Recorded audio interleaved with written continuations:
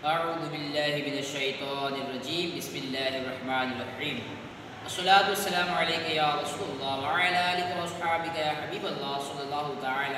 आलिहि वसल्लम नौजवानों को मेरी तरफ़ से एक पैगाम आशिक़ान रसूल जो हम ये व्हाट्सएप पर स्टेटस रखते हैं ना ये बहुत से लोग इसे देखकर कुछ सीखते हैं अगर हम इस स्टेटस पर नाच गाने रखेंगे तो लोग इससे गुनाह की मरतकब होंगे और इस गुनाह का वबाल इस स्टेटस रखने वाले के सर पर आएगा। क्या अजब कि बरोज़ मैशर, हमारे गुनाहों का बोझ हम खुद ना उठा पाएँगे। तो यार हम दूसरों के गुनाहों के बोझ कैसे उठा सकते हैं? तो अल्लाह का खौफ दिल में पैदा कीजिए और स्टेटस रखना हो तो हजूर पाक की शान में नाते पाक रखें। और क्या ही बेहतर हो कि जिसे हजूर पाक की शान में नाते पाक रखा और सुनने वाला को पसंद आ गया। और आगे चल कर के खुदा ना खास्ता उसको विलायत मिल गई।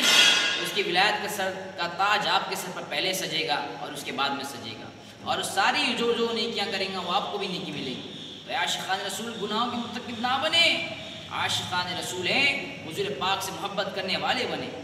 मेरे आपसे मोतबाना गुजारिश है ये व्हाट्सएप पर जो ये स्टेटस रखते हैं आप गाने बाजों के, नंगी औरतों के जो उनके कपड़े ख़राब होते हैं, जिनके कपड़े शॉर्ट्स होते हैं ये सारे चीज़ें देख करके अपने आँखों को ठंडक ना पहुँचाएँ, बल्कि हजूर पाक का सब सब गुम्बत देख कर ठंडक पहुँचाएँ, और कराम की जो मनखबत है वो उस ऐसे स्टेटस रखें ताकि देखने वाले को भी इससे कुछ सीख हासिल हो और इससे अल कराम की मोहब्बत हासिल हो।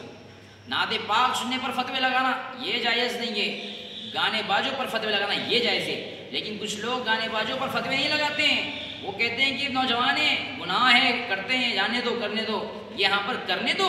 और हुजैर पाक के शान नाते पाक सुने तो यहाँ पर बिद्दत शिरक ये कैसा जब मामला है। आशिक़ान रसूल, दुनियादारों के चक्कर में ना फंसें, बल्कि हुजैर पाक की मोहब्बत में चूर चूर हो जाएँ, और हुजैर पाक की शान में आप बेपना मोहब्बत के अंदाज में आप व्हाट्सएप पर भी स्टेटस रखें तो हुजैर पाक की शान में रखें। अल्लाह पाक हमें और आपको दोनों जहान की भलाई नसीब फरमाएँ। अलैहि वसल्लम।